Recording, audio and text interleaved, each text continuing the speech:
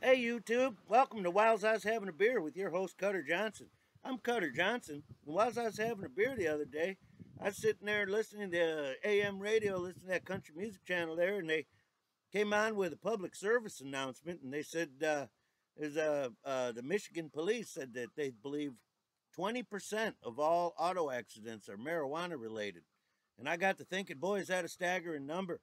I called up my uh, cousin down there in Tennessee, Tucker, and I says, hey, listen, Tucker, I knew the good Lord called me up here to the Northwoods for a reason now, and now it's clear to me there's a lot of lives to be saved, and I'm sure I'm up here to save lives.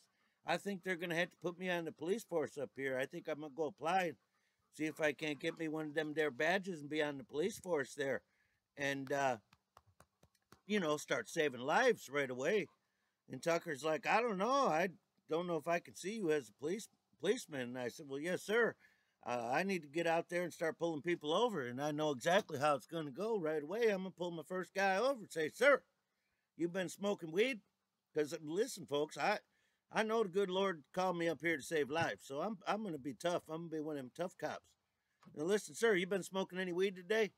No, sir, I haven't smoked any weed at all today. Are you sure about that? No, sir, I don't even smoke weed at all. Get your irresponsible ass out of the car right now. What?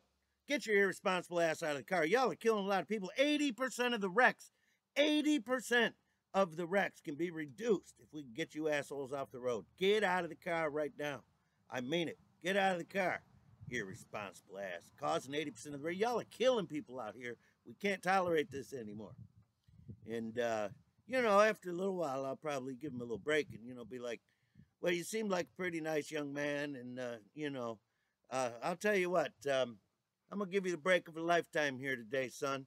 Here's what I want you to do. I want you to fire this up and, uh, you know, slow down a little bit.